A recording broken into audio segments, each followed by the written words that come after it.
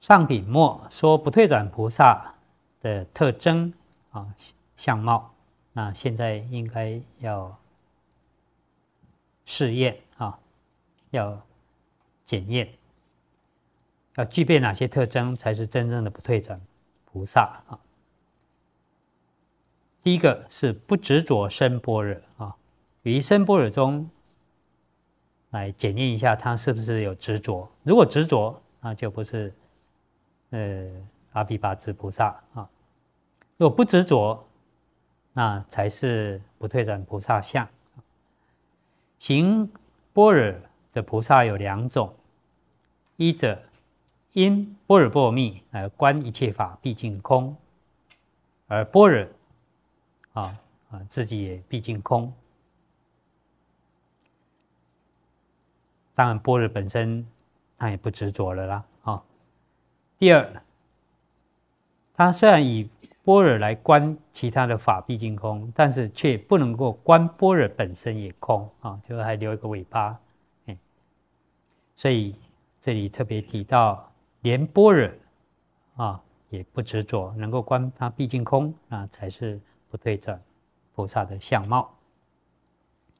第二，智正不由他，菩萨行深般若时。不以他人语为奸要，亦不随他教而行。我们对照角注一六一，玄奘大师的翻译：诸有不退转菩萨摩萨行深般若波罗蜜多时，不观他语及他教界，以为真要。所以这个奸要啊，奸要，我查一下范文。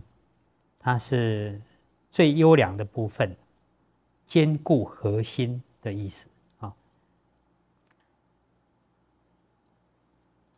所以呃，坚要玄奘大师翻成真要啊，认为是最最优良、最核心、最坚固的啊。非但信他而有所作，所以这论也会解释了哈，就是。啊，不退转菩萨他真正正般若的时候，啊，即使佛现身啊，跟他说啊，以前是骗你的啦，种种，那时候他因为正的实相了啊，不会受别别人的言语所动摇。再来不为诸惑牵啊，就不退转菩萨我被贪嗔痴。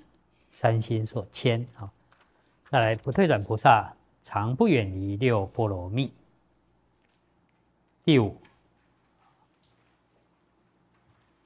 那这样的不退转菩萨听闻声波的时候，心啊不惊不默不怖不畏啊不后悔，他很欢喜，好要听闻波若，不止听闻，还受持读诵正意念。如经所说，啊，确实去实践。当知菩萨过去世已经听闻声波若，已经受持读诵，为人解说正意念。啊，啊，大正藏这里是用问，不过比对范本啊，还有玄奘大师的翻译，还有后面论的解释啊，都是做文。就过去已经听闻啊，听闻声般若，而且受持正意念。何以故？